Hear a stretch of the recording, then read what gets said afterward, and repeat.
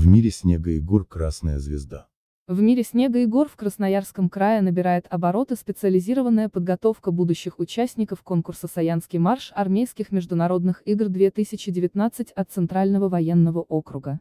С началом зимнего периода обучения на базе 5-го центра учебного военно-спортивной подготовки ЦВО «Красноярский край» развернулась активная подготовка ко второму сезону всеармейского конкурса горных подразделений в зимних условиях «Саянский марш-2019».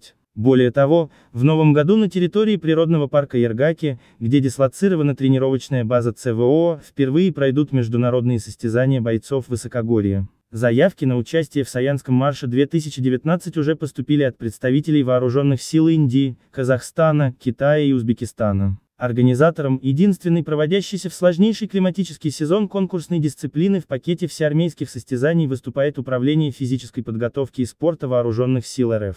Времени до старта осталось немного. Уже в начале февраля штатные подразделения, добившиеся абсолютного лидерства в ходе отборочных этапов в военных округах, родах войск и военно-учебных заведениях Министерства обороны РФ, съедутся в Вергаке, чтобы в экстремальном противостоянии выяснить, кто же будет представлять российское военное ведомство на международном уровне. Судя по итогам первого всеармейского конкурса «Саянский марш-2018», явных претендентов несколько. В их числе обладатели Кубка лидера из ЦВО, а также конкурсные медалисты горные бойцы из ВДВ и представители Военного института физической культуры Санкт-Петербург. Однако, отмечает начальник пятого центра, УФСП ЦВО Ергаки Евгений Павлычев, прокладываемые нашими инструкторами по горной подготовке маршрутные этапы Саянского марша настолько сложны и непредсказуемы, что в фавориты может пробиться любая из команд-участниц. Для этого у ее бойцов должно сойтись оптимальное сочетание силы, ловкости, выносливости и умения ориентироваться в горах. Евгений Павлычев не скрывает, что конкурсные маршруты будут непростыми.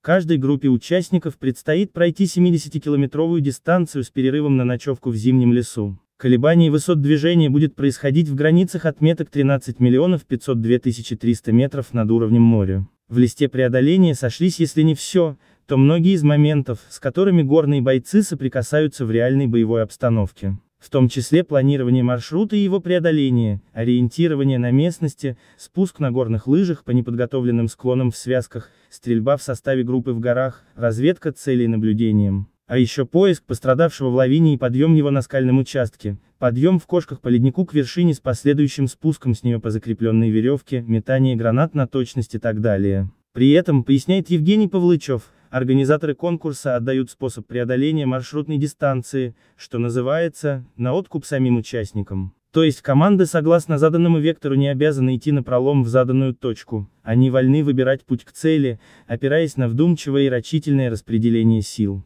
Главное не пропустить предусмотренные участки преодоления конкурсных препятствий и соблюсти меры безопасности. К мерам безопасности организаторы мероприятия отнеслись особенно щепетильно. Ведь горы, как известно, никому снисхождения не делают, просчетов не прощают. А заснеженные горы, да еще при экстремальных отрицательных температурах, тем более. Потому в период проведения Саянского марша 2019 в составе сил помощи в дежурном режиме будут находиться не только экипажи базовых спасателей на снегоходах, но и спецбригада на вертолете Ми-8. В канун каждого старта маршруты будут обследованы, чтобы исключить появление в районе проведения конкурса опасных для человека диких зверей, в первую очередь медведей и шатунов. Особое место в плане мер безопасности организаторы отводят средствам навигации и связи. В частности, на маршрутах все команды в обязательном порядке обеспечиваются современными мобильными переговорными устройствами. В перспективе надеемся экипировать участников специальными датчиками, сигнал от которых в режиме онлайн будет выводиться на интерактивный экран, поясняет Павлычев. Это в свою очередь, позволит судьям не только видеть местонахождение команд и направление их движения, но и фиксировать отклонения от маршрутов, возможные плутания на незнакомой местности. Более того, при запросе помощи от команды наши спасатели будут точно знать, где именно, даже при крайне неблагоприятных погодных условиях, следует искать испытывающих затруднения участников. Такого рода эпизод в практике соревнований однажды уже был. В условиях пурги на помощь команде не смог подняться в воздух дежурный вертолет. Всю тяжесть розыска участников тогда взяли на себя спасатели на снегоходах. Будь в то время у наших спасателей онлайн-датчики, заблудившихся конкурсантов они нашли бы гораздо быстрее, поясняет Евгений Павлычев. В настоящий момент на базе Эргаки к тренировкам приступили около 50 горных бойцов из составов трех соединений Центрального военного округа. Все они профессиональные спортсмены, завсегдаты не только окружных, но и всеармейских профильных стартов. Некоторые были участниками недавнего покорения расположенного на юго-западе республики Тыва высокогорного хребта Цаган-Шибету. В период восхождения группа альпинистов ЦВО проложила абсолютно новый 26-километровый маршрут к вершине горы Монхулик с высотной отметкой 3500 метров. Покорение вершины осложняли 40-градусный мороз и ураганный ветер. В ближайшей перспективе сформированные из горных бойцов команды кандидаты примут участие в отборочных этапах Саянского марша ЦВО. По итогам прохождения высокогорных маршрутов лучшие из конкурсантов войдут в состав сборной команды армии от Центрального военного округа. Екатеринбург, Красноярский край, Юрий Белоусов, Красная звезда.